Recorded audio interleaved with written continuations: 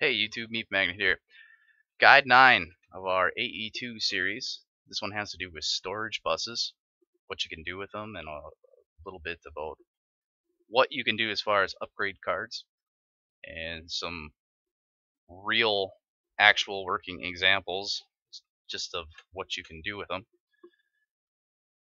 Um, let's take a look at NEI here and see what a storage bus actually consists of.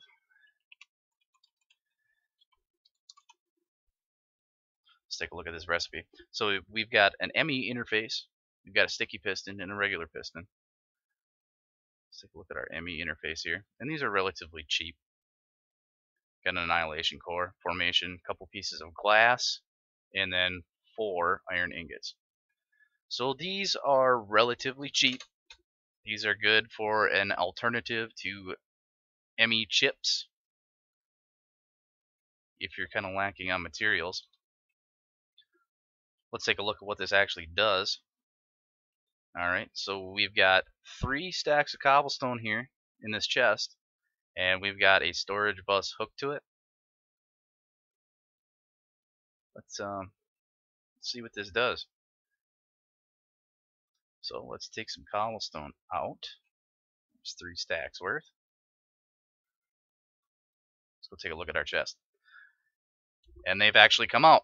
So, the whole purpose of an ME storage bus is to turn an inventory into just another piece of storage that's completely accessible by the rest of your ME network.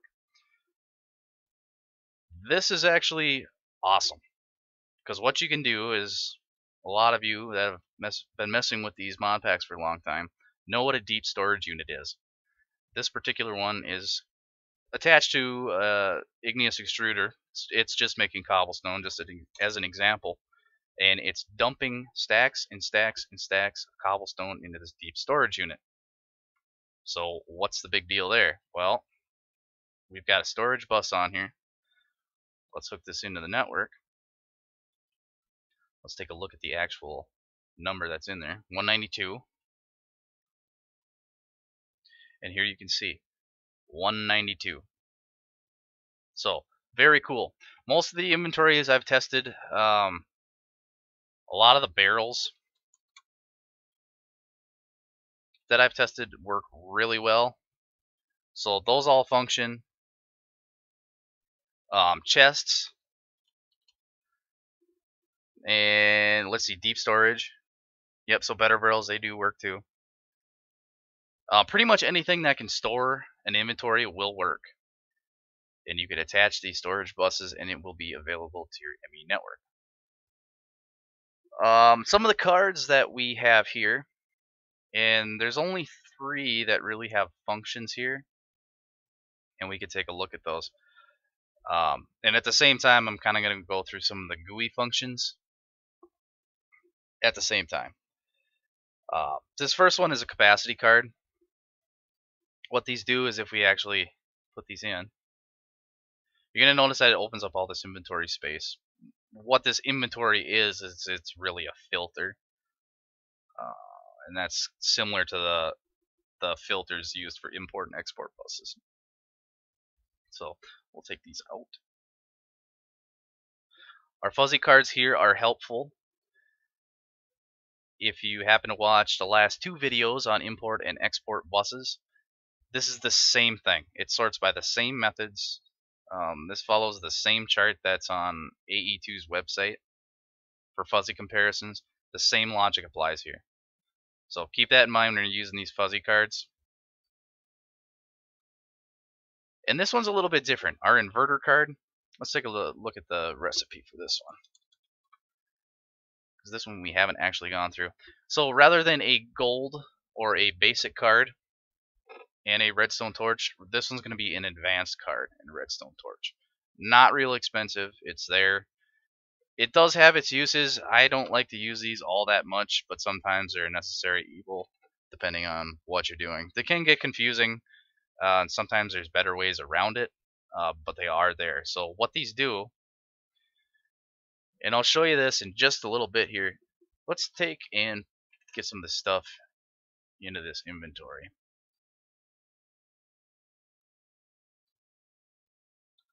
Okay, so there was 47 arrows here. There shouldn't be any in the actual the chips. Okay, so we see that's there. Our cinnabar is there. So that's all good. So we'll take note here of our ferrous metal, cinnabar. We got a stack of cobblestone and then 47 arrows. Now when we take this out, it's going to pull out of the chest. Since we have this set, oops, I did not set that. Let's set this now. We're going to set this to filter for those four items. So everything in the chest will be set into this filter inventory. And we can do that easy by clicking the partition storage. The verbiage on here isn't the greatest. It should maybe just say copy or something like that. But anyway, if you click it, that stuff goes in there. That's what's relevant. You can get everything out of here in one shot if you hit the clear config. Same thing.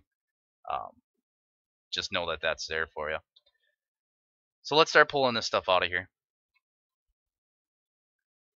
So once we've got this set, and this is a this hasn't been configured the storage bus at all. It's pretty much brand new.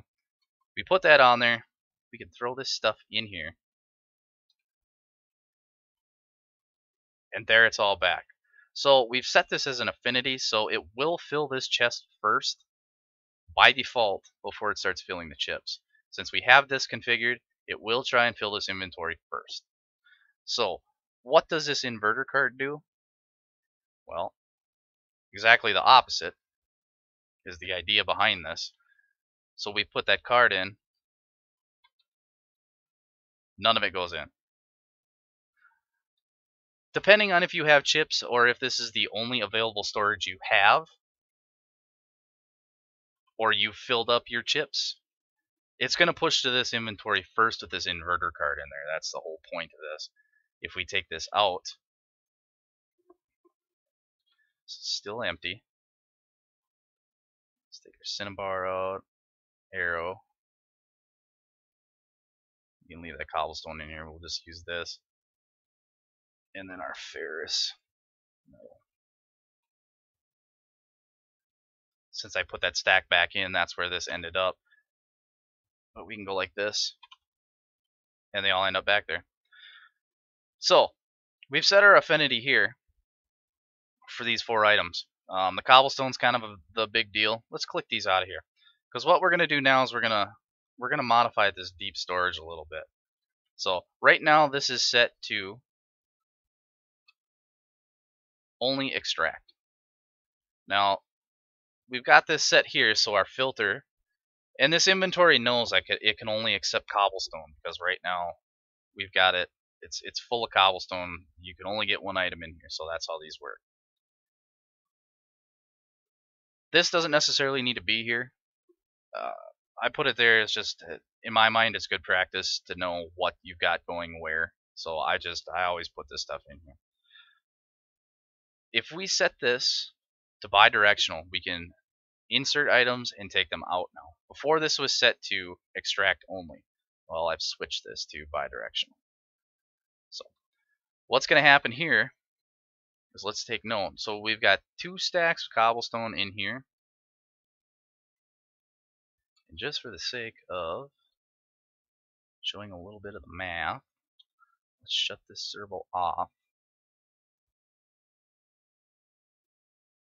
Wait to see what else is actually going to be coming in here.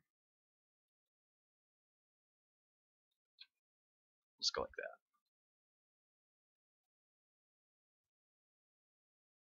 Two hundred five two seven four. See if that's reflected.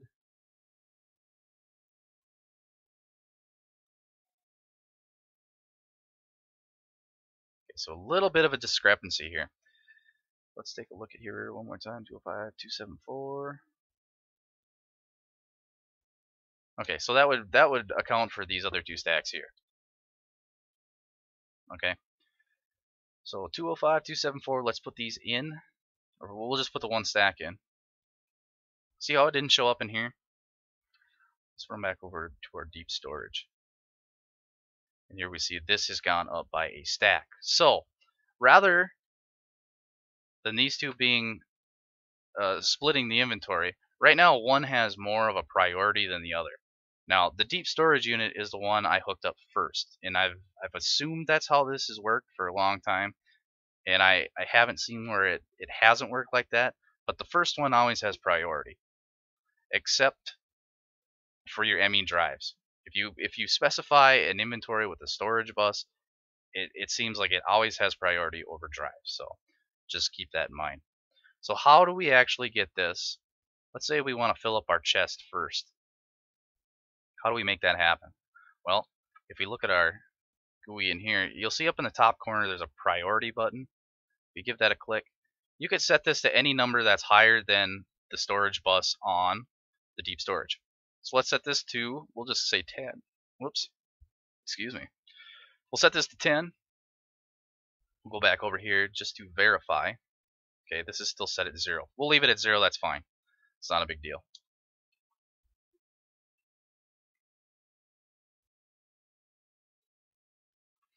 And okay, so we've got two stacks and then one. Just to double check. Okay, we've got this set for bidirectional.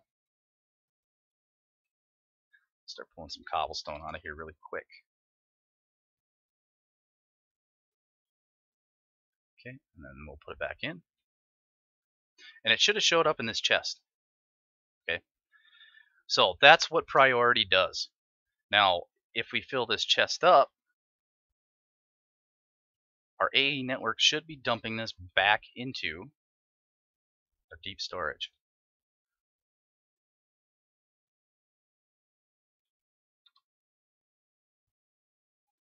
Okay, so we're almost there. These in. We need? Four stack? Oh, way more than four stacks.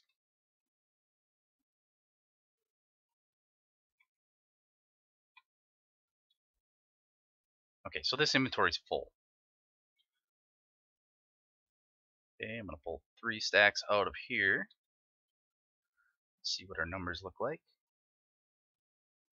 198555.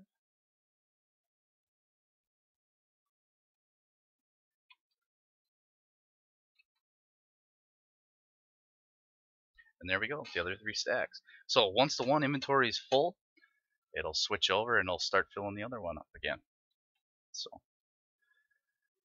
that is pretty much it for storage buses. You can absolutely use them early game. They are pretty awesome to work with. If you have chests across your base and you just need to keep that stuff, or you have better barrels with a whole bunch of stuff in them that you just don't have the chip space for, you can absolutely hook in a storage bus.